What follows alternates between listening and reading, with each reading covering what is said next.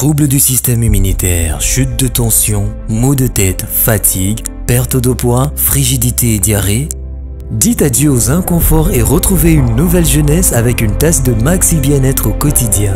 Une solution bio composée de plantes traditionnelles, 100% naturelle et reconnue pour sa vertu. Une formule adaptée pour hommes et femmes. Depuis plus de 10 ans, le Maxi Bien-être Café renforce le système immunitaire, restaure la fatigue physique, améliore le sommeil, aide à stabiliser la tension et la glycémie, nettoie les reins, soulage l'hémorroïde et la constipation. Chez les hommes, le Maxi Bien-être restaure le dysfonctionnement sexuel, l'impuissance et l'éjaculation précoce. Maxi Bien-être est disponible partout dans le monde.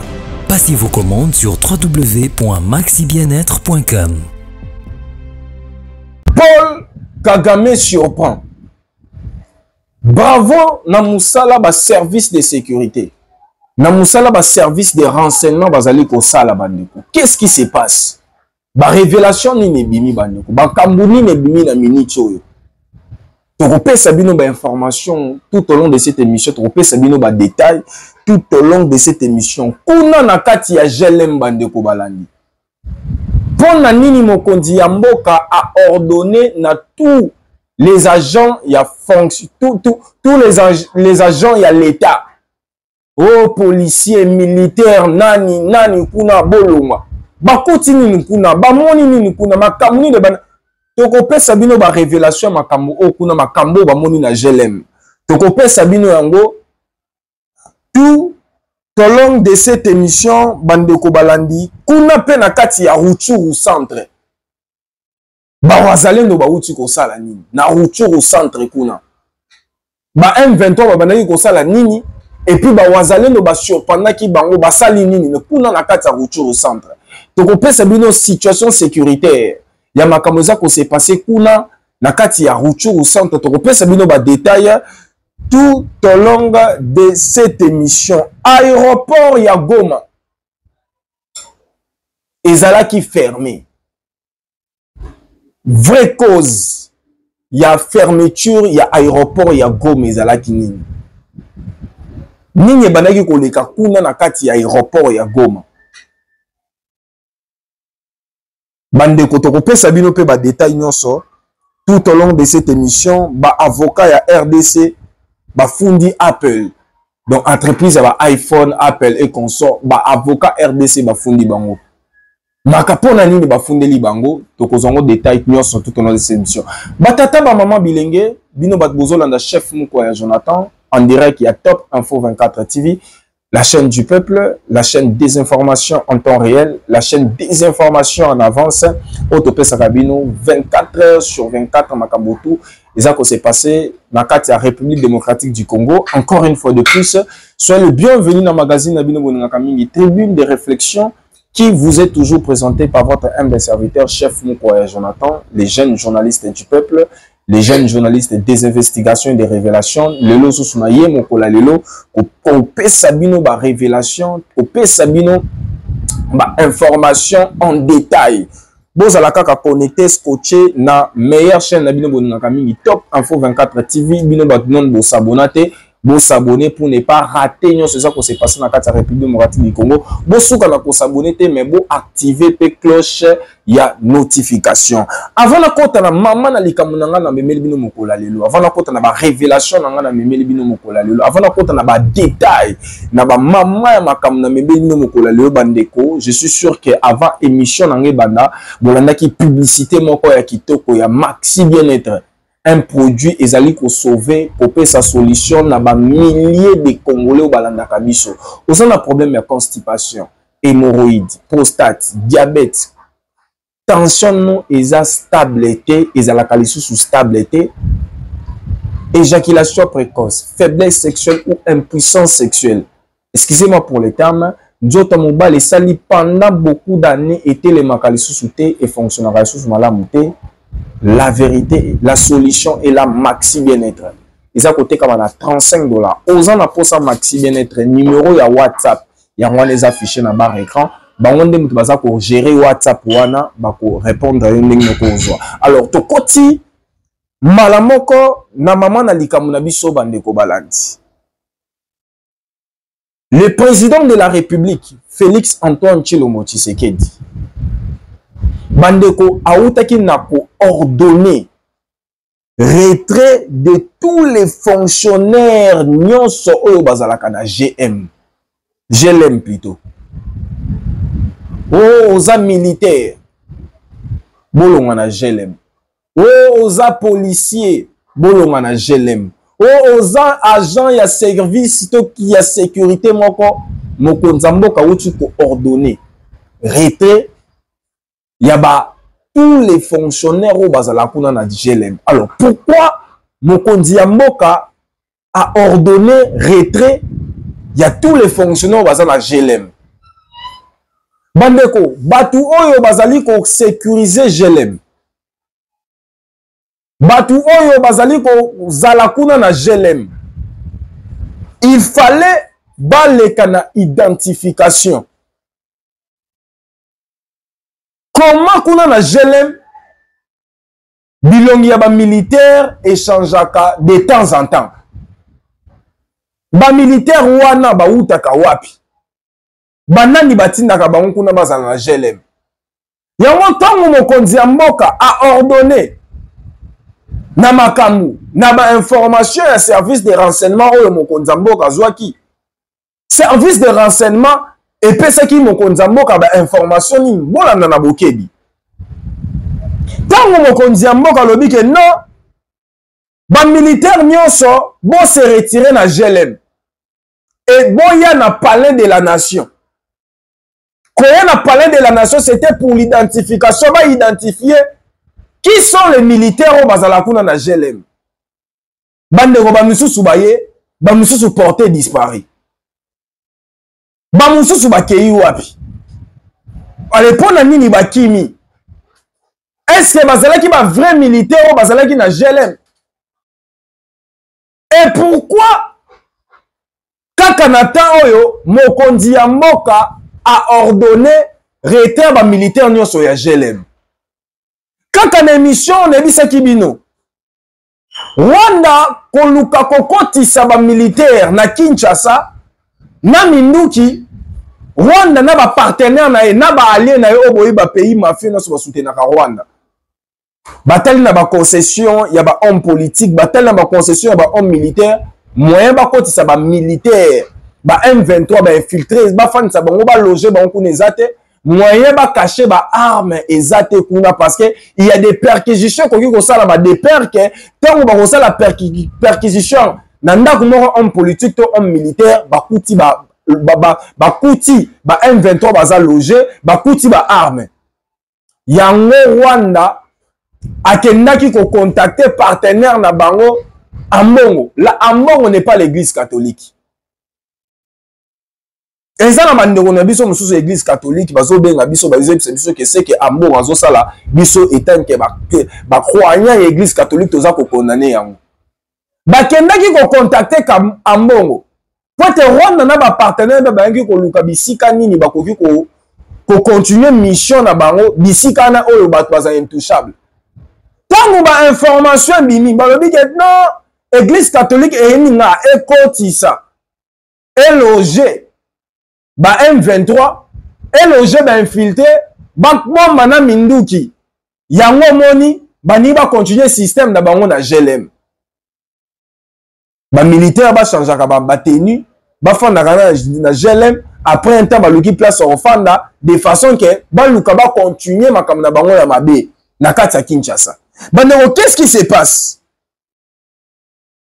nyonso wana bazobundisa tshisekedi te me bazobundisa nde congo so mpo na sikoyo mission na bango esacomplir ya kozwa baluka ba bazwa possession ya baminerai ya congo qu'est ce qu'il faut faire il faut chercher à tout prix faire tomber tshisekedi boyoka makambo ebimi awa boko comprendre ke bazali kaka kotravaille na kinshasa te meme na baprovince bandeko balandi makambo oyo ezali kosalama bazali tozo kokanga bato oyo bazali kokolabore d'autres députés bazali honoraire bazali kokolabore na ba m23 bazwi te bamoni ke bazwi te te tokolabore na banguna de façon ke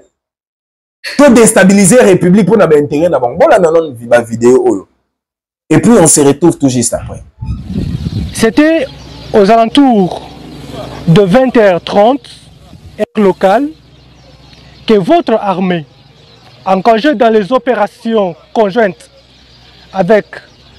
UPDF ont tendu une embuscade à un groupe des terroristes islamistes MTM USCAP. Dieu nous a donné ces terroristes et au moment où je vous parle, nous avons reçu à neutraliser cinq terroristes RF MTM et capturé deux. Un capturé du nom de Bissimana Sibomana,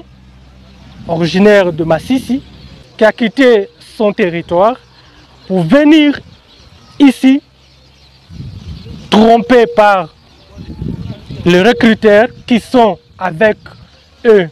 dans les Massissi. Dieu merci, le secteur opérationnel Sokola Incran a fait un bon travail à travers son service de renseignement. Nous sommes tombés sur cet enfant de 13 ans qui a été recruté par ces terroristes. Comme vous le voyez à mes côtés, parce que je vous ai parlé des deux capturés pendant cette opération, nous avons M. Ngangondi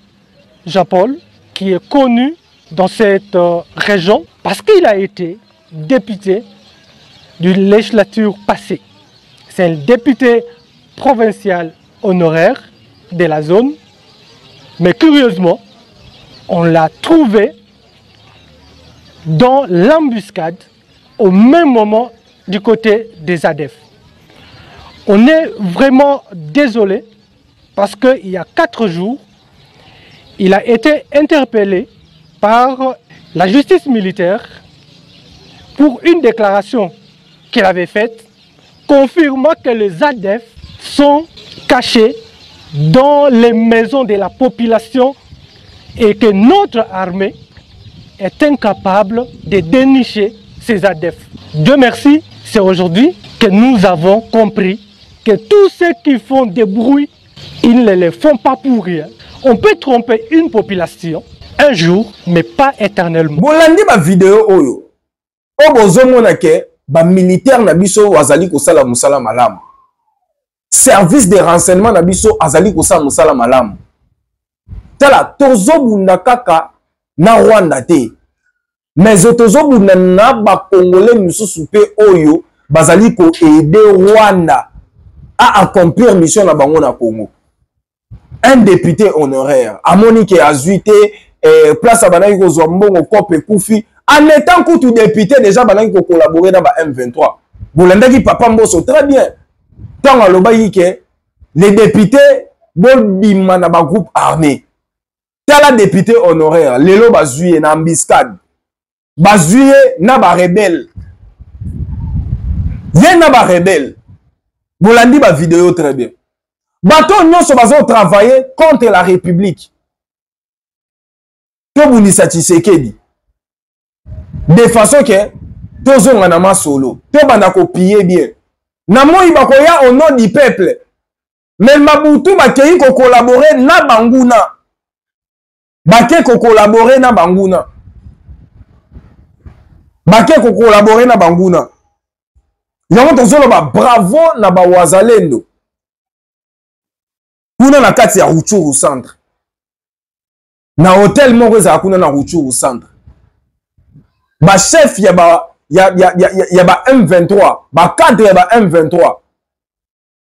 bayaki kuna na hotel kuna eza na ruchuru centre batala ndenge terrain eza basala baévaluation basala baréunion na bango baravitaye baterroriste ba, ba, ba, ba, ba oyo baza kuna na ruchuru mais bawazalendo ba oyo cardinal ambongo aza contre bango basali mosala malamu na ruchuru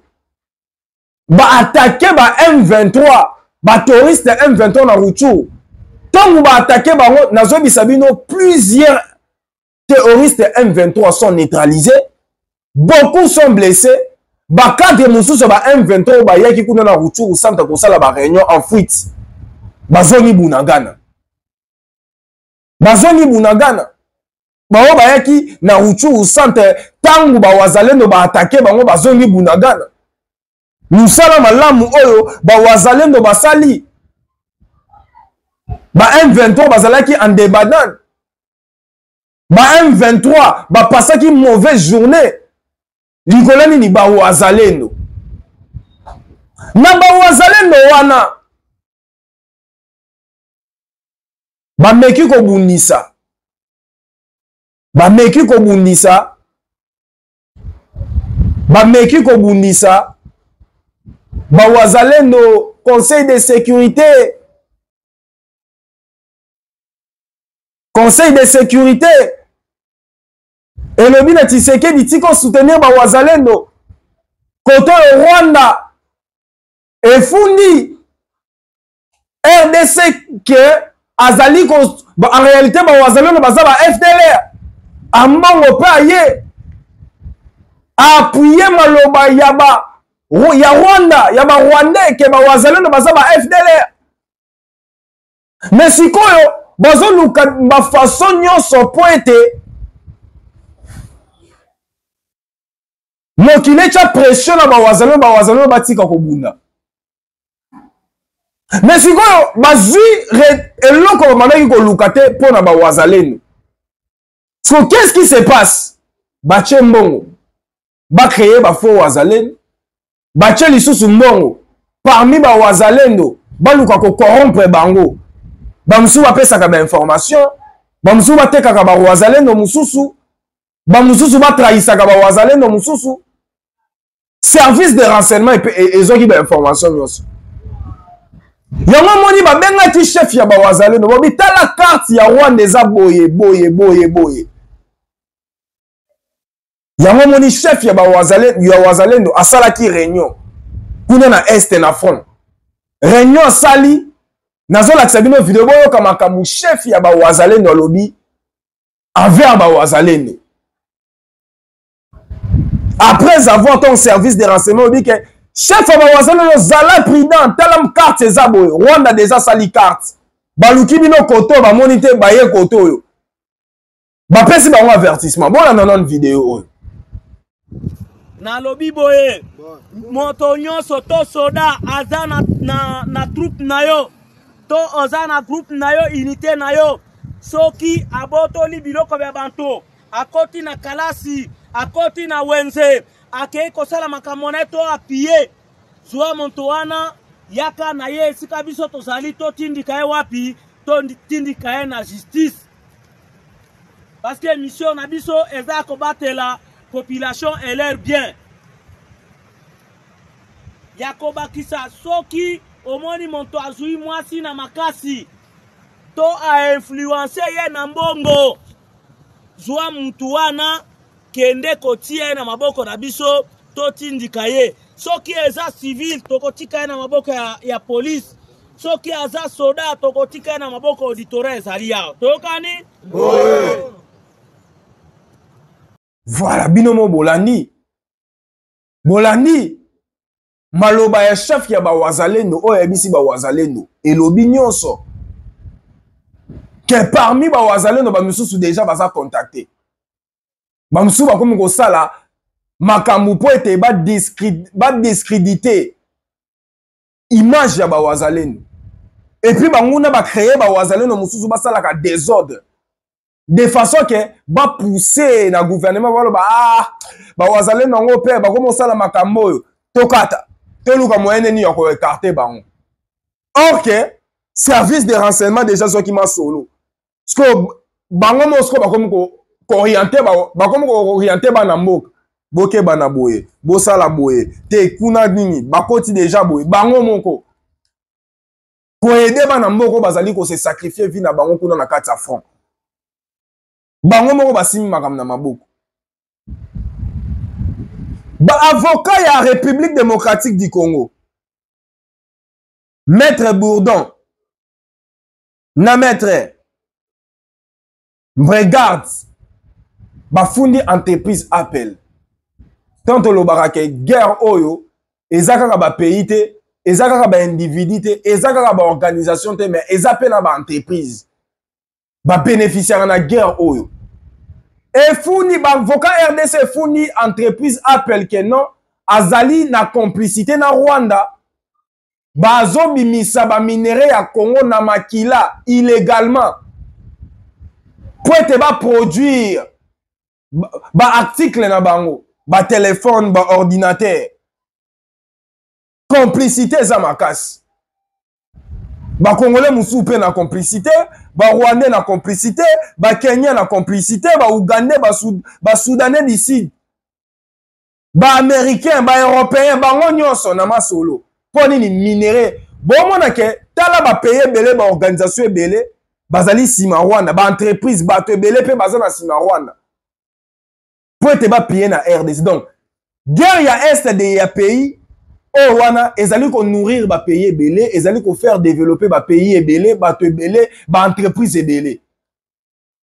so bo imagine siko mokolo tokolonga bitumba wana tokanalize baminere na biso ya kese ya leta mpo edevelope mboka rdc ekozala ndenge nini yango ozomona bitumba ya indépendance économique oyo tshisekedi azali kobunda encore ye moto azwa empêche to exploite illicitement tobundisa ye en réalité baobundisa tshisekedi te me baobundisa congo baobundisa congo baobundisa tshisekedi te baobundisa congo na bapage na bachaîne oyo bareelaka bapubliaka bainformation ba m23 mpo ete bitumba eza kaka bitumba minduki te mais toza mpe na guerre, guerre numérique barwandais balobi o aéroport ya rdc ya goma ezali ferme ba m23 bakoti baferme yango bakangi yo bainformation babimisi or ke na yo opesa bino vraies information mpo na nini aéroport ya goma ezalaki ferme na ntongo information solo ezalaki ke aéronef ligne, ligne ya aéronef kuna ya goma avion tokoloba yango na ndenge mosusu avion ya ethiopian airlines ezwaki pane na kozwa pane wana ekangaki ligne ligne ya, ya aéroport moyen avion emata eza te moyen avion ekita eza te ezwaki pane ekufaki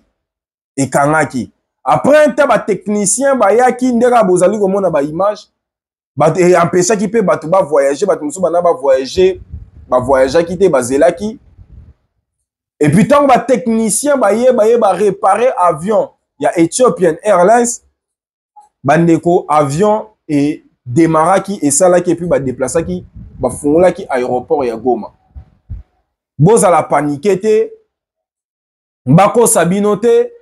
ke esalamaki boye mpo na boye ezongaki boye mpo na boye bolanda bainformation ya ba rwandais te bazali komanipule bakongole mosusu na bainformation lokuta oza na mposa kozwa vraies information awa na top info 24 ke avion déjà ezali réparé nyonso ezongi déjà normal baligne déjà nyonso ya, ya, ezongi normal bavio ekomi kokita bavio ekomi komata barwande moto bakangaki esika wana te barwande moto bakotaki na goma te eloko moko esalamaki te panike ezalaka te mpo ete guerre tozali kosala ezalaki mpe guerre médiatique guerre numérique so ozala ozala trompe te na bainformation bolandaka biso de temps en temps s'abonner, bon activer cloche de notification pour ne rien rater dans ce qui s'est passé dans la république démocratique du congo c'était votre humble serviteur chef mokoya jonathan les jeunes journalistes du peuple les jeunes journalistes des informations et des révélations euh, euh, euh, et et des jeunes journalistes, après ça, toujours ben, information en temps réel, les informations en avance. On se retrouve au prochain numéro. Quant à moi, je vous dis, bonne foi, bonne foi, bon bonchala. Vous connaîtrez la vérité et la vérité vous affranchira. On se retrouve au prochain numéro. Abonnez-vous et activez la cloche de notification. Merci beaucoup.